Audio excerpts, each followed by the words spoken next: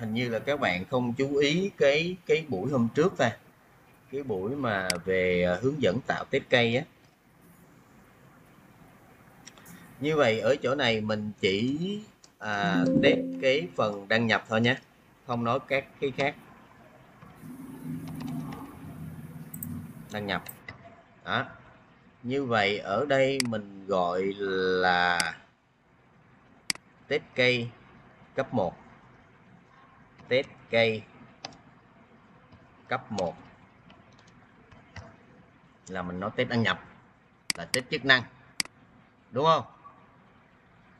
Đấy, mình có thể đăng nhập test trang chủ test trang uh, giỏ hàng test uh, đơn hàng test thanh toán test report test gì đó. Thì mình chỉ nói chung thôi. Là cấp 1 bây giờ đến test cây cấp 2 à, test cây cấp 2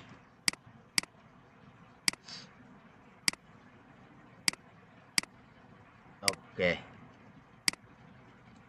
Test cây cấp 2 vậy cấp 2 của mình nó sẽ là gì? Cái đăng nhập này sẽ là đăng nhập thành công. Thành công vậy cái đăng nhập thành công của mình mình sẽ có kết quả mong muốn là gì? Đó, như vậy cái đăng nhập thành công này, mình sẽ có test data, test value test value của mình.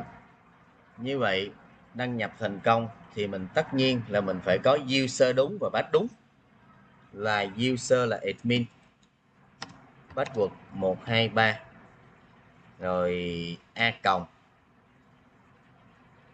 abc tức là mình yêu cầu phải password có độ phức tạp. Còn nếu như bạn chỉ có test password 123 đó, thì nó sẽ không vô. Ví dụ như vậy, thì nếu như mà password của bạn có yêu cầu độ phức tạp, và bạn cũng có thể thử nhiều cái value khác, miễn làm sao mà bạn sẽ đăng nhập được thành công. Như vậy, kết quả chỗ này. Test.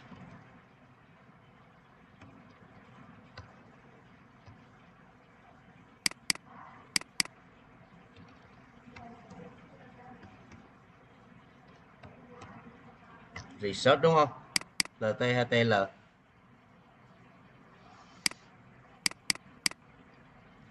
test gì?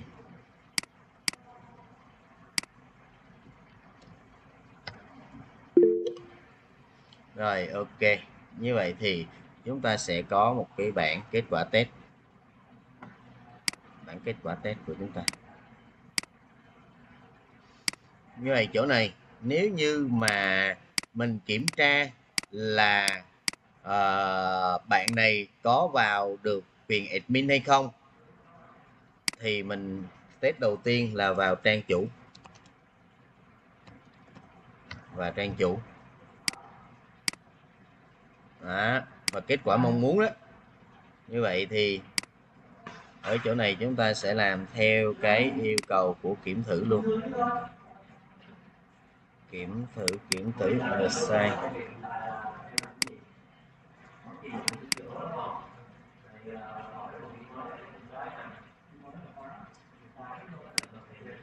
rồi, ok, tiêu chí kiểm thử. Loại kiểm thử test case kết quả mong muốn, kết quả thực tế. Ok. Trạng thái, bắt. Test dữ liệu tên. Trạng thái.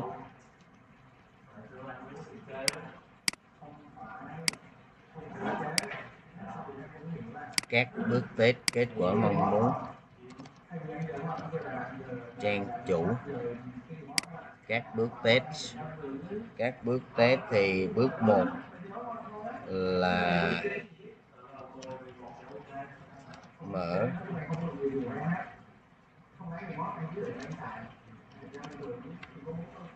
Đăng nhập.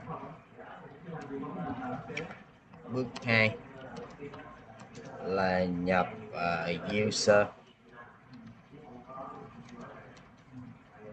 Rồi password. Bước 3 là bấm nút login. Hoặc enter. Đều được hết. Như vậy mình sẽ có hai trường hợp luôn nha. Vừa login, vừa enter, đều phải thử. Nếu như người ta yêu cầu là enter là vô luôn. Đó. Hoặc là làm gì, thì nói chung là mình phải kiểm vô đó, còn không thì thôi đó là ba nút ok.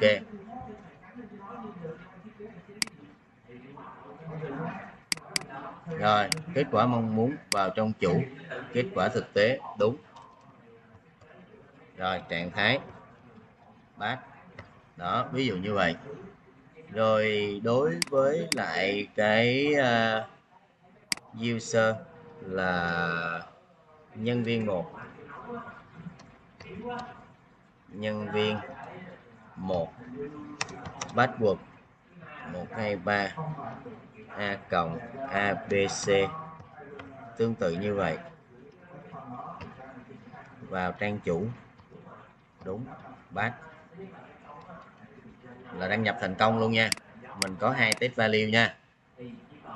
Nếu như bạn muốn kiểm tra là admin và chính xác là admin hay là nhân viên. Thì chỗ này sau khi vào trang chủ xong, bạn phải có thêm một cái bước nữa, cũng là bạn này. Bạn có thể là để trống luôn, cũng là admin, cũng là user. Nhưng mà mình test thêm một cái bước nữa, chỗ này. Tức là bước 4 mình cần phải test thêm là click vào menu. À, tạo user. Ví dụ như vậy. Click vào menu tạo user. À, kết quả mong muốn vào được. Đúng. Thì chỗ này là bát. Đó mình đang kiểm thử là kiểm thử đăng nhập đăng nhập thành công nhé. Đăng nhập thành công. Rồi. Như vậy ở chỗ này, nếu như trường hợp mà đúng vào được trang chủ thì đúng là bác. Còn nếu yêu cầu của mình vào được trang chủ là không vào được, hoặc là vào, nó vào trang khác thì kết quả của mình là sao? Fail. À fail. Đó như vậy thì ở chỗ này các bạn sẽ, sẽ hai trường hợp luôn. Như vậy mình đang kiểm thử đăng nhập thành công nè.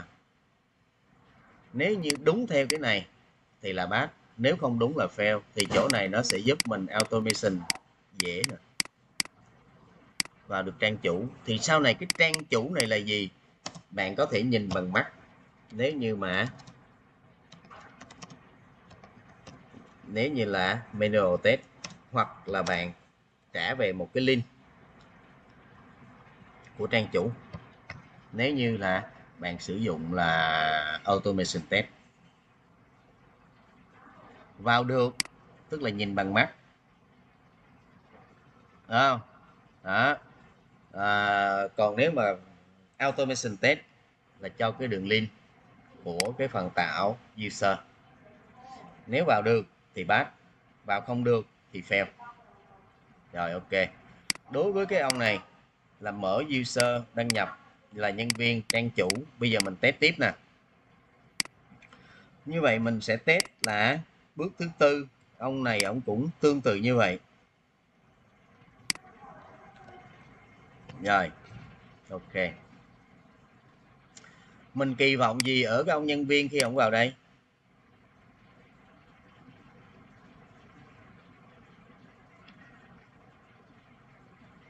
Mình đang test thành công nha. Chú ý mình đang test thành công nha. Mình kỳ vọng gì khi mà ông vào đây? Dùng mình kỹ năng à, của vai trò kết quả mong muốn mình mình mong muốn cái gì? Ừ. kết quả mong muốn nè mình mong muốn cái gì chỗ này? Chuyên chủ. Ổng kích click chuột vào tạo user mà mình mong muốn cái gì? Không chửi hả? Chửi chứ. Hả vào được không? User vào được cái chỗ mà tạo user không? Không. Thì là gì? Mình mong muốn gì? Không vào được. Ừ. Mong muốn không vào được. Thế nào là không vào được? Thì mình có thể là thông báo. Quyền của của user thông báo cho người ta biết là à quyền của anh là không được vào. Được chưa? Rồi nếu mà đúng thì tưởng cũng tương tự như vậy. Đúng thì bác.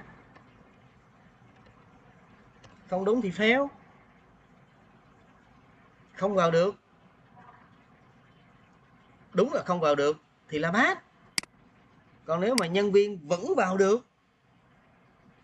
À chỗ này đúng là không vào được. Chỗ này là vẫn vào được. Chứ còn vào trang khác thì không nói rồi. Chỗ này chú ý nha. Chỗ này là vào trang khác là fail. Còn chỗ này mà vào trang khác thì không fail đâu. Mà khi nào mà vẫn vào được cái trang tạo này nè mới fail. À, đọc không? Như vậy thì ở chỗ này bạn làm như vậy nè. Bạn sẽ rất là cụ thể cho cái tester người ta rất là dễ nhìn. À bây giờ tôi vào được nhân viên rồi đó. Thì cái tính năng mà đăng nhập bằng user password này là là ok rồi nè. Và được trang chủ nè. Đúng nè. Bát nè. Riêng cái chỗ này là bát nè. Như vậy thì chỗ này mình sẽ bổ sung cái gì chỗ này đây? Bổ sung cái cái tết cây gì đây? Mình sẽ bổ sung test cây cấp 3 chỗ này là gì? Đăng nhập thành công cũng là đăng nhập thành công. Nhưng mà bổ sung cái gì các bạn? Kiểm tra cái gì đây? Hello. Kiểm tra. Kiểm tra cái gì? Bây giờ. Uhm kiểm tra row hoặc là hoặc vai trò hoặc là kiểm tra quyền. Tùy mình muốn ghi cái gì đó, ghi, ha. Mình muốn ghi cái gì cũng được. Kiểm tra về quyền. Admin. Tương tự như vậy. Mình kiểm tra về row user như vậy thì khi mà chỗ này mà mình ghi là fail á và mình báo về cái phần fail của người ta à defect thì người ta nhìn rất rõ các bạn. Người ta nhìn người ta cảm ơn mình khi mà các bạn là là test design và các bạn design kỹ như thế này nè. Đó, design kỹ như thế này. À, thì người ta rất là cảm ơn. Cảm ơn cái gì?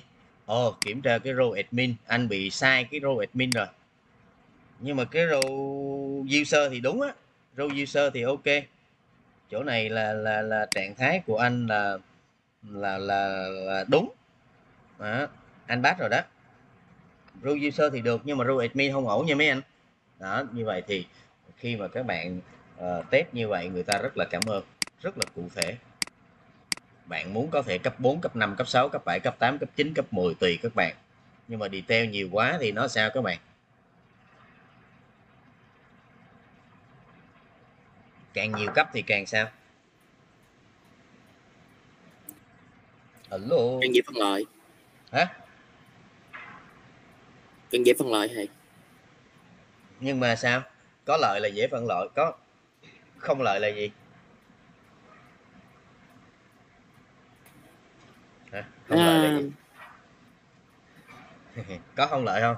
Bóng phức tạp bóng phức tạp. Mệt chứ gì gì?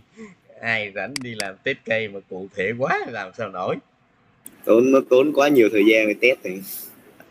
Tốn nhiều thời gian cũng được nhưng mà nhưng mà nhiều khi bạn làm detail quá là cũng cũng mệt. Đó nhưng mà nếu mà chức năng mà bạn cần kiểm thử về râu thì chắc chắn là bạn phải làm rồi. Có tốn nhiều thời gian bạn cũng làm. Nếu người ta đã yêu cầu đến mức này mà bạn không làm cái này được không được không? Không bắt buộc phải làm bắt buộc phải làm. Không làm người ta đã yêu cầu rồi. Chuyện gì xảy ra? Nếu không làm. Không làm thì đói thầy ơi. Không làm thì nó bị lỗ hỏng thôi chứ. Bây giờ người ta đưa cái phần mềm cho em người ta nói em test nam ơi test đi. Đúng không? Người ta nói nam ơi test đi hậu ơi test đi. Bây giờ hậu à, uống cà phê từ sáng đến chiều ngày mai đi chơi pizza ngày mốt đi đá bóng ngày hôm kia giao. Rồi đó anh ơi được không? Được không? Chắc chắc là được đấy. Ừ. được. Được mà. Được hết á. Rồi mai mốt triển khai. Được không? Được. Được. vẫn được vẫn triển khai được. Đến khách hàng. Được luôn. Test alpha được luôn test beta được luôn. Bát hết rồi người ta test ok luôn. Test beta là người ta test được luôn. Người ta xài một hai năm được luôn. Là do gì? Có một cái bộ lọc qua rồi. Không do thằng đép nó giỏi. Ok à. Kìa do thế? do thằng đép nó giỏi nó có lỗi đâu mà test có test với không test giống nhau. Mà do thằng đép nó giỏi mà mình hên thôi được mà. Trời ơi thầy nói thế. Cái gì nữa? Rồi đừng có làm như vậy ha. Làm người ai làm thế. Rồi ok. Như vậy thầy sẽ gửi cho các bạn một cái uh, cái test cây ha. À template cái này là tem của thầy thôi nha chứ không phải là tem là là là là advanced nha được chưa? Đây là cách làm của thầy. Công ty của thầy. Thầy muốn làm vậy, đảm bảo với các bạn là phần mềm ổn. Thì thầy làm. Còn nếu mà các bạn nói là test cây này không được, không ok. Cách bố trí như vậy không ổn. Kết quả mong muốn như vậy, kết quả thực tế như vậy, trạng thái như vậy, phân người làm như vậy, thầy, em thấy không ổn thầy ơi. Thì không ổn thì chuyện của em em làm lại đi. Còn chuyện của thầy như vậy, thầy thấy là ổn. Như vậy thì cái này nó không có chuẩn nha các bạn nó có dạng như thế này thôi. Đúng không? Đúng không nào?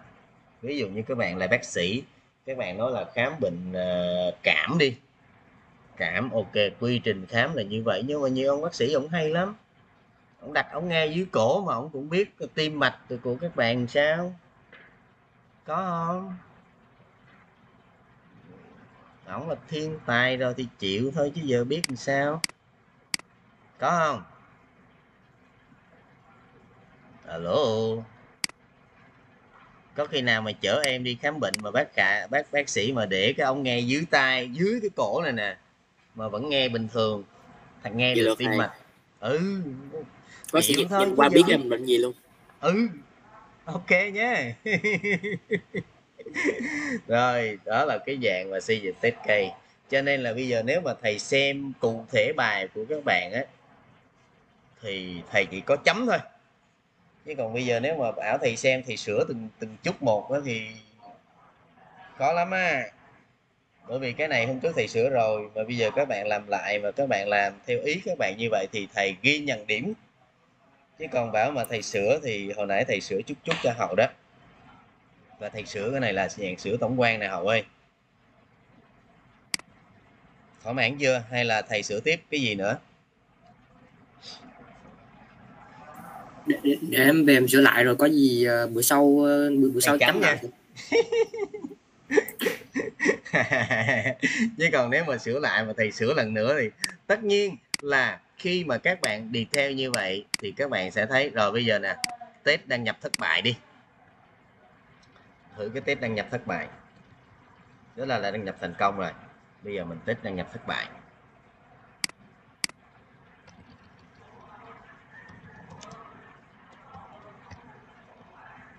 nên nhập thất bại. Rồi ok. Như vậy cái này là test cấp 2 nha. Mình vẫn test cấp 1 của phần đăng nhập nhé. Đăng nhập thất bại. Vậy thì mình sẽ không có cái này. Mình không có cái này. Mình bỏ qua. Đó. Vậy test đăng nhập thất bại của mình kiểu dữ liệu là mình sẽ trước tiên là có user uh, admin 2 password bỏ trống. Ok. Rồi cũng tương tự như vậy. À, đăng nhập thất bại thì chỗ này là thông báo. User hoặc pass sai. Chỗ này cũng là một vấn đề mà mà mà mà hồi trước thầy dạy cái môn dự án một cho các bạn á, không biết là các bạn có học thầy không? Chứ còn nếu mà các bạn học thầy rồi thì cái chỗ này cũng là một vấn đề nè. Thông báo cái gì các bạn? Admin 2 là đúng nè. Bắt buộc sai nè. Mình thông báo gì?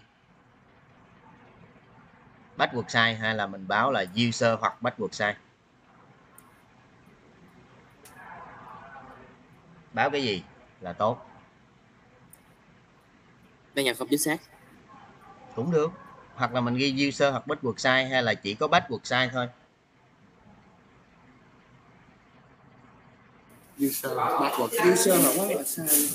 Tại sao vậy? Sao mà ở đây người ta rõ ràng người ta password sai sao mình không ghi password sai mà mình ghi nói người ta user password sai? Cái chân ta- vậy thì nó lộ user hay giỏi. Được chưa? Vậy là nhớ bài ha. Nhớ bài thầy dạy ha lộ, lộ, user là lộ ra hàng nào là gián điệp rồi thầy. Vậy là có nhớ bài rồi mấy đứa giỏi quá. Rồi ok. Như vậy chỗ này mình sẽ thông báo là user password sai. Chỗ này là đúng. Vậy thì sao? Bác. Được chưa? Rồi chỗ này. Cũng tương tự như vậy nhưng mà không phải là đúng như vậy mà thông báo. View password sai. Chỉ có thông báo pass sai thôi. Thì sao? Thì chỗ này có thể pass, có thể không? Cần phải xem lại. Đó, nếu như mà bạn dùng manual test thì bạn ghi xem lại. Còn bạn dùng automation test thì bạn phải check kỹ chỗ này. Phải hỏi lại chỗ này, coi lại cái requirement chỗ này nhé. Đó, phải xem lại requirement nha. Nếu như requirement không yêu cầu mà bạn muốn nâng độ bảo mật lên thì bạn ghi là fail. Bạn ghi chỗ này là fail giúp thầy. Còn fail cái gì á, thì bên refresh bạn sẽ, bạn, bên detect bạn sẽ ghi cụ thể ra. Hiểu không? Tại sao fail thì ghi được cụ thể ra? Đây cũng fail các bạn thông báo thôi mà cũng fail đó. Được không? Hello. Được thầy. Rồi tương tự chỗ này bạn có một cái uh, password sai chỉ có một hai ba thôi. Mình ghi vậy có vẻ hơi khó hiểu đúng không? OS tương đối hay user pass đó, ví dụ như vậy. Như vậy chỗ này user pass 123 cái này là sai. Mình ghi vậy. Tại vì user admin này là bắt buộc nó khác chứ không phải là bắt password 123 ví dụ như vậy ha. Tương tự các bước rồi chỗ này cũng là thông báo sai. Chỗ này cũng là thông báo sai. À, ok ví dụ như vậy. Thì cái này là chung nha. Thì các bạn có thể chỗ này là bạn ghi test data luôn. Đó ví dụ như vậy. Bạn ghi là test data chỗ này luôn. Rồi bạn thêm cái test data khác nữa. À, test value chứ bạn sẽ sử dụng nhiều cái test value chỗ này ví dụ như chỗ này là user bỏ trống chẳng hạn. Chỉ có bắt buộc thôi bắt buộc đúng. Đó, rồi bắt buộc sai, rồi bắt buộc đúng. Có nhiều khi nó nghịch lắm nha user sai mà bắt buộc đúng là nó vẫn vô à. Chứ không phải là nó không vô đâu à. Đó ví dụ đây là bắt buộc đúng nó vẫn vô. Đó là một test cây một test cây mà có nhiều value. Thì gọi là test data. Cái này là test data dữ liệu test. Một cái này gọi là test value. Mà nhiều test value thì gọi test data. Ok. Ổn không ta? Ổn hay học xong cái này đi làm test luôn nha. Hy vọng là các bạn của thầy là sẽ làm test được. Test manual thôi, cứ xin đi. Xin đi, được thì làm, không được nghĩ làm gì cắn. Biết đâu làm được thì sao? Đúng không? Về phân tích cái bài assignment kỹ ra. Đây. Đó. Test cấp 1 cấp 2 cấp 3 cấp 4 ok em làm vậy đó anh xem thử thì sao. Tuyển được tuyển không tuyển được. Thôi em đi xin chỗ khác. Nói vậy đi. Được nha. Tuyển được tuyển không được. Thôi làm gì cắn. Không không, không tuyển qua Dubai ăn xin này. Được chưa phải tự tin vậy. Học trò của thầy phải tự tin vậy mới được đây bài làm của em nè. Đó em chưa đi test lần nào nói thẳng vậy. Nhưng mà em xây dựng vậy đó. Bây giờ cho em vô test minimal đi cho em làm tester thôi chứ em chưa có làm test design được đâu. Cho em làm tester một tháng đúng không? Em học việc rồi sau đó thì em sẽ uh, xin anh uh, làm thêm nếu em có khả năng. Và lương hướng thì uh, anh cho em một cơ hội thương lượng. Đó nói vậy anh cho em một cơ hội thương lượng. Nhớ nói câu đó nha. Chứ đừng có đòi tăng lương. Không tăng lương em đâu tăng lương đâu.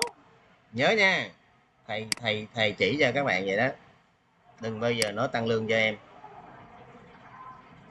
Nhưng mà em cứ cho em làm là một trải nghiệm. À, cho em làm là một cơ hội cho em rồi. Rồi sau đó thì à, sau thời gian một tháng hai tháng ba tháng gì đó thỏa thuận với người ta thì cho em một cơ hội thương lượng. Nếu em làm được còn nếu làm không được thôi bye bye có gì cắn. Nhớ nha. Đó dạy cho các bạn về tester dạy cho các bạn về à, khả năng đàm phán rồi luôn đó có khóa học đó hay lắm để bữa nào thầy mở cái à, cái, cái, cái, cái chương trình đó cho các bạn. Talk show coffee đang ấp ủ mà chưa làm được đây. Nếu mà thầy mở ra có ai đăng ký không ta?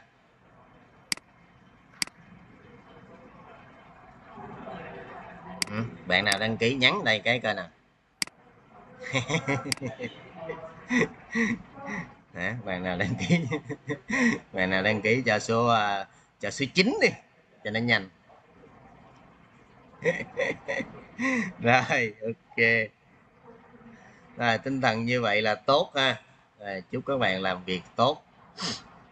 Chúng ta sẽ gặp lại buổi tiếp theo là gần xong rồi đó. Ok bye bye các bạn. Bye bye thầy. Ừ. bye thầy. Ăn trưa ngon miệng nhé. Bye bye. Bữa sau cà phê đi ơi. Ok